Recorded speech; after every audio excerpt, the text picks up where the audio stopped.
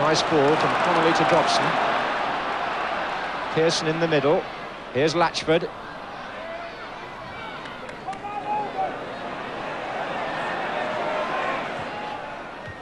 Away by Madeley, but it'll come back to Dobson.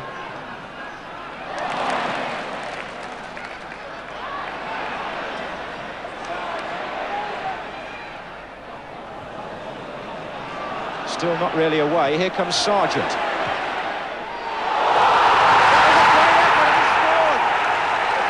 Harvey completely. Steve Seargeant from left back puts Everton ahead.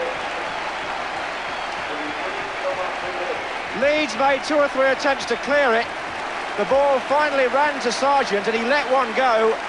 Harvey seemed to have got across, but somehow the ball slipped through his grasp and went over the line.